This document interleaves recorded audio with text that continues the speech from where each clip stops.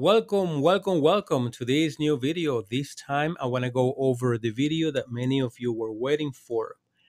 Or actually not so much the video, but you were asking about where you can download the files. So here they are. I'm going to add the link to this Google Drive folder in the description of the video so you can click on it and download it. As you can see, I have created 25 questions uh, for each of the 20 modules, that is 500 questions in total. And some of these questions I may have used in the previous videos, as you know, if you follow my channel. I've been creating the CEH video tutorial starting on module 1 as of now, today is June 17th. I believe that I'm up to module 14 or 13, one of those two. I don't remember, but I'm going to complete all modules for CEH version 13. I'm going to go down to module 20, of course. And as you could see, you're going to be able to uh, go over the questions and see the answers. Uh, I have to be honest with you, you may find some answers that you may disagree with me, and that's totally fine. And that's something that you are going to see in the exam as well.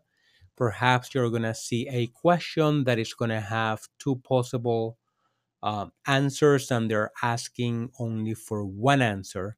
So be okay with that. Don't overthink it. I mean, like, if you know, if you have a good foundation, you're to be fine. You're to pass the exam.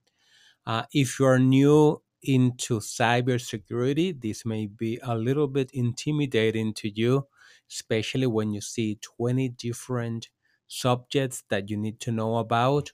It's totally fine just make sure you understand you have a good foundation of them especially when it comes to scanning networks enumerations uh, system hackings malware threats make sure you understand the basic concepts that you understand nmap you understand um, uh, wireshark you understand you know how to do a, a, a, filters in wireshark you don't have to know all the filters but you need to have a good foundation and you are going to be okay with that.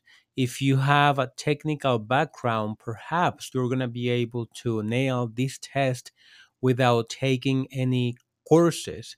Uh, but if you don't have any technical background, it's going to be difficult for you to try to memorize all these concepts and understand the subjects just by memorizing them without practicing. So I would advise you to find a, a something to practice, something that you can practice on, so that all the knowledge that you are going to be covering or the knowledge that you're going to obtain from that training is going to make sense when you are studying and getting ready for the exam.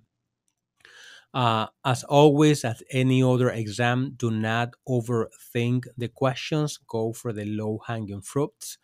Develop your own unique way of taking tests and make sure that you improve it so you can be more efficient. These tests are timed, so you're not going to have unlimited time for that. You're going to have limited time, whatever that time is. I believe it's three, four hours, or whatever that is. Make sure you use it wisely, or maybe two hours. I forgot.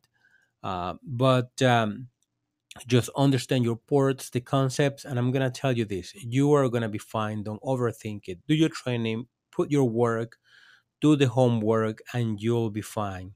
Um, so, if you're interested in the other modules that I'm gonna be creating, just subscribe to the channel or check the channels, uh, the playlist that I created for CEH version 13. I also cover other topics in my channels. I started to developing uh, some uh, playlists on artificial intelligence, ChatGPT. I'm gonna be working. I'm going. I'm gonna go deeper into artificial intelligence, uh, not so much at the software engineering level, but at the technical level, how we can use it and maximize it, especially when it comes for uh, cybersecurity. So again, here you have all 20 modules, uh, sample questions the link is in the description of the video. If you found this information useful and you are about to take the test and you felt that this was something that benefited you in your studies, I would appreciate if you let me know in the comment section. That's gonna be uh, something good to hear to me and to uh, the other people, other students of mine directly, or people on, on the web who are looking for resources that are to help them also to uh, nail that test. Once you pass the CEH exam, the written exam, you're going to have the option of going for a CEH master where you're going to be able to do exercises and hands-on. Believe it or not, that test is easier than this. This is a lot of memorizations. Uh, whereas in the other, you're going to be able to use the command line, get help on the commands, and it's going to be way easier. But you have to um, understand the concepts first. So thank you for watching. And if you found this video and these resources useful, all I ask you to do is to click on the like button, consider subscribing to the channel, and if you know of anyone who can benefit from this video or any of the videos in the channel, please forward that information over to them so we can grow this community. Thanks for watching and I'll talk to you on the next video.